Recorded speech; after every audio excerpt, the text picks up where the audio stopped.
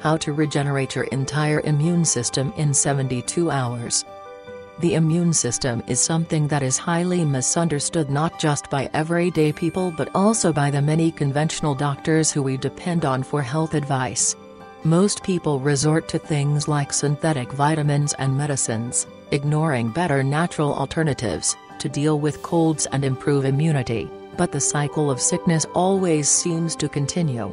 For people with compromised immune systems, there are many natural options, and now researchers have discovered what could well be one of the best ways to reset and recharge your immune system, one that happens to be free and is believed to work even in the elderly as well.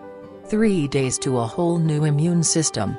According to researchers at the University of Southern California, the act of fasting for as little as 3 days can regenerate the entire immune system, even in elderly people. The researchers said that fasting helps the body's stem cells to begin producing new white blood cells, which help to fight off infection.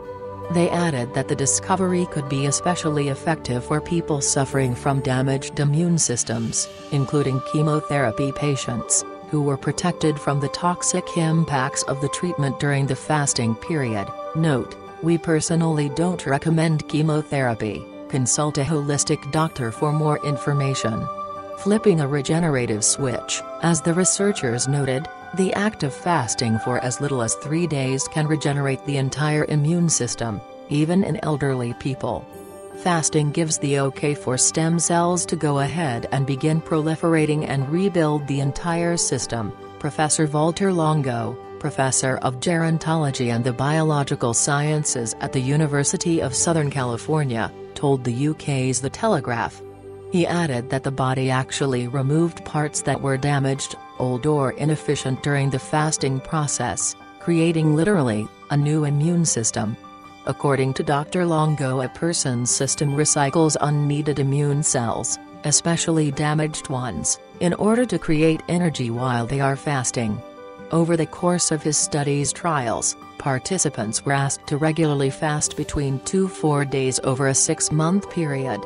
The study was released in June and Dr. Longo said that clinical trials must still be completed, but added that the research looks very promising. You can read the full study in the journal Cell Stem Cell by following the link in the description.